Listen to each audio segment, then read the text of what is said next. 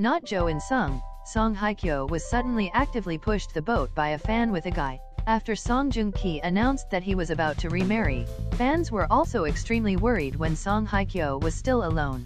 Since the day Song Joong Ki's ex-husband announced his remarriage, Song Hye Kyo's every move has become a topic of discussion on forums large and small. Recently, the online community has been hand-in-hand with a photo that captures the moment Song Hye Kyo is beautiful despite the usual cam when she is present at an event. Here, the actress became the center of attention and quickly attracted the attention of the public both at home and abroad.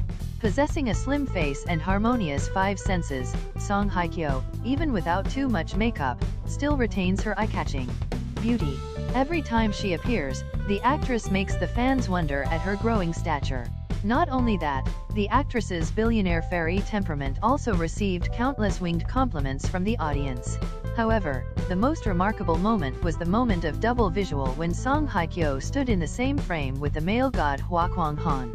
It can be seen that, despite being U50, the actress still retains her youthful beauty and looks extremely worthy sometimes standing next to the Marshal of Taiwan. The above combination of Song Hye Kyo and Hua Kwang Han quickly made the fans of both of them unable to contain their excitement.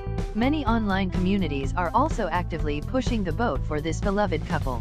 Let's get on the boat, everyone. It's so well deserved. Oh, what a beautiful couple. Oh, it's a couple. After the uproar Song Joong Ki announced his remarriage, Song Hye Kyo still actively focused on film projects and she didn't seem to mind her ex-husband's private life. At the present time, although Song Hye Kyo is still single alone, it can be seen that the actress always enjoys this happy single time.